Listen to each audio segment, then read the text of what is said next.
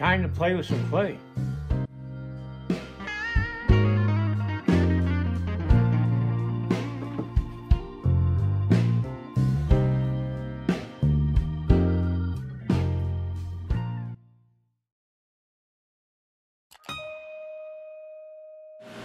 I'm going to finish up the face as much as I can. I apologize for the sound in the background. That's the heater. It just kicked in. It's uh, about 20 some odd degrees outside, so it's not unusual for a heater to go on. anyway, um, just working on little details that'll be hard to work on once it's on the uh, full-size clay.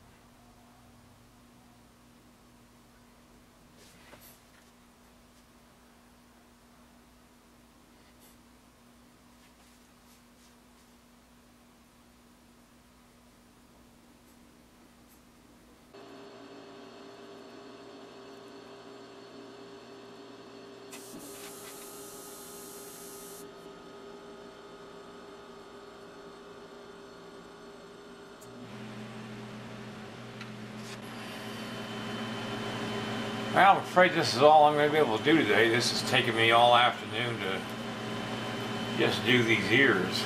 I thought I was going to be able to get this onto the uh, body of the Warrior, but I'll do that Monday. Right now I'm just going to clean up this ear that I just did. Getting it right is uh, worth the time it takes to do it. That's why I'm not worried about how long it takes me to do something.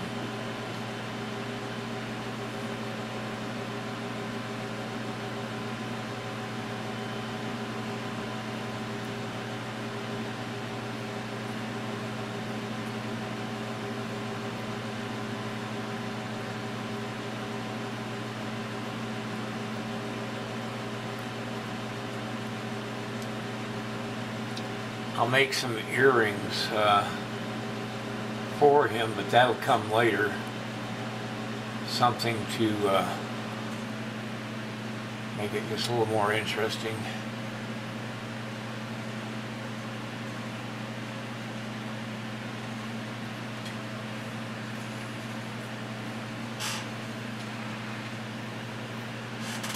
What I'll do is just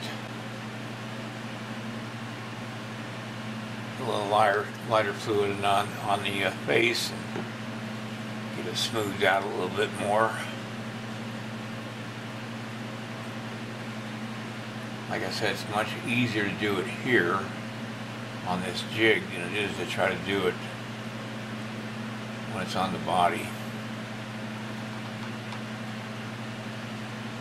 So that's going to be it for today. Uh, you know, if you like my videos, please like and subscribe my video and click the little notification bell so that you get updates uh, whenever I, you know, put a video out on YouTube. And also check out my uh, instructional DVDs on how to sculpt. They play on your computer and on your Blu-ray player, so it's uh, it works well. All right, good night, everybody, and I'll see you uh, next time. Give me a thumbs up and share my video. And then check out my instructional DVDs, uh, the link down below this video. All right, see you next time.